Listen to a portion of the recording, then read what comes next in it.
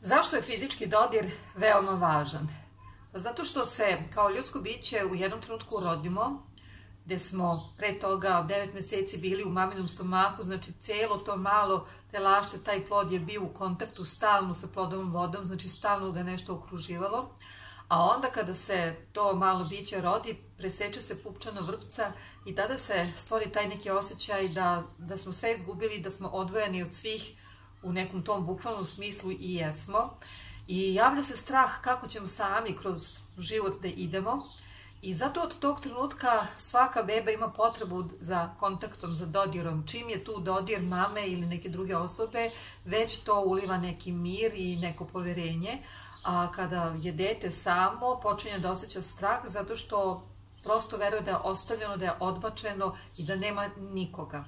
I taj dodir je nama nekako uvek važan. Znači mi polako stasavamo, postajemo veći, zreliji, postanemo ljudi i dalje verujemo da nam je fizički dodir jako bitan. E, fizički dodir jeste bitan, ali tu moramo da znamo još neke veoma, veoma važne stvari. E, mi ljudi imamo čula pomoću kojih mi komuniciramo jedni sa drugima. Bez čula mi ne bismo mogli da komuniciramo i ne bismo bili ljudi, bili bismo možda neka stvar.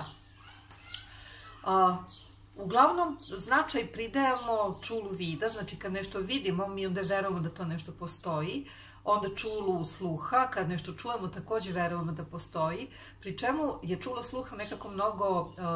veće, mnogo značajnije, zato što mnogo više stvari možemo da čujemo, čak i ono što ne možemo da vidimo, mi smo nekad u stanju da čujemo.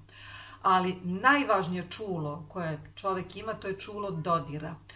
I upravo, pošto nam stalno nedostaje neki dodir da bismo imali taj osjećaj da smo sigurniji i da bi nam samopouzdanje bilo veće, verujemo da su bitni ljudi koji su tu sa nama u životu, e, koji vole da nas zagrle, da nas drže za ruku. U svakom slučaju volimo da imamo taj osjećaj da je fizički dodir tu.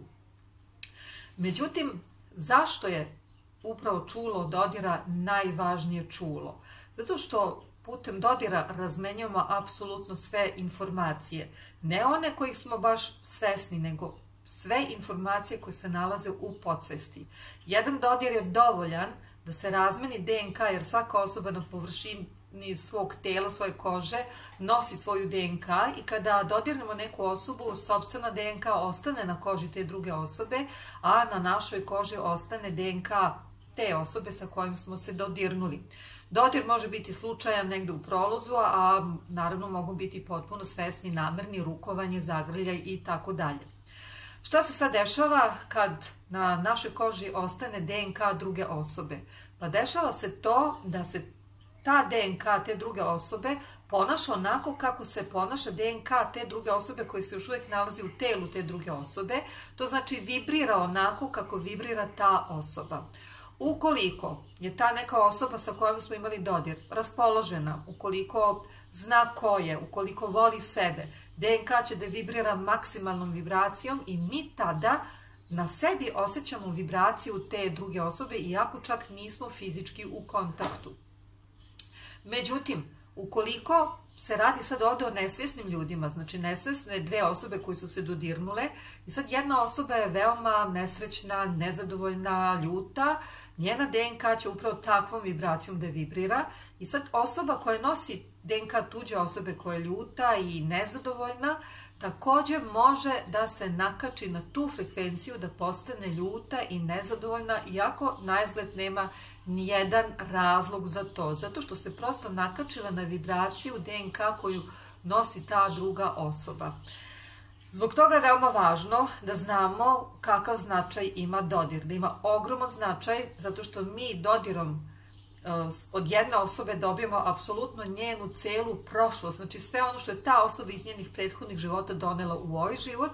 i ukoliko smo svesne osobe ne treba uopšte da brinemo, znači prosto znamo da ćemo dobiti informacije te osobe kako se gde osjećala i te emocije mogu da proradu u nama, ali mi prosto preuzimamo odgovornost za svoj život i kad god dođe neka emocija koja nije prijatna u telu, znamo što treba da radimo, da volimo tu emociju, znači preuzeli smo odgovornost, čak i ako su to znači, te emocije koje smo preuzeli od drugih ljudi.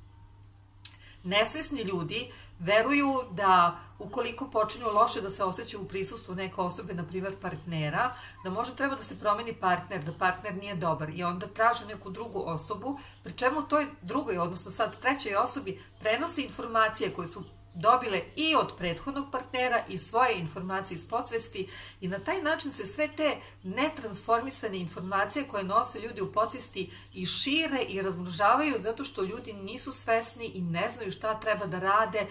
kada su već imali dodir sa nekom osobom sa emocijama koje se posle bude. Znači ne znaju da u emocije treba upućivati ljubav, a ne bežati od, e, od svojih emocija, a pogotovo ne tražiti s polja neku osobu čija će eventualno prisustvo da ublaži emocije koje su se probudile. E, još jednom ću da ponovim, Čulo dodira je izuzetno bitno zato što putem dodira razmenjamo sve informacije koje smo mi donijeli u ovaj život –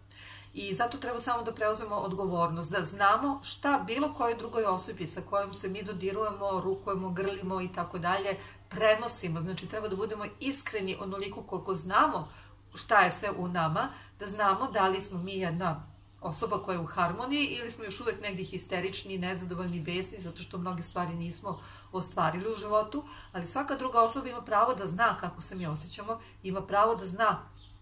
šta će putem DNK koja je ostala na njoj od nas da dobije, da bi mogla da preuzme odgovornost i da radi na sebi. Znači, jednostavno shvatite da svako je odgovoran za svoj život, to što ste imali puno dodira i preuzeli puno tih DNK drugih ljudi i njihove informacije iz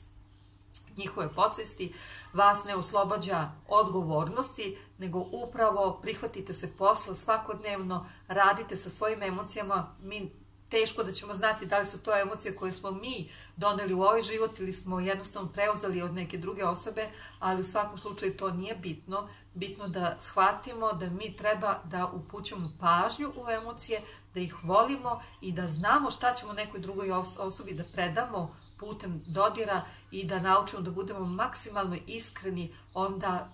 prosto mi vodimo računa o svojoj vibraciji i onda postajemo i kreatori u skladu, skladu sa svojom vibracijom. Znači, poštujte dodir i budite iskreni prema drugim osobama da znaju šta od vas dobijaju.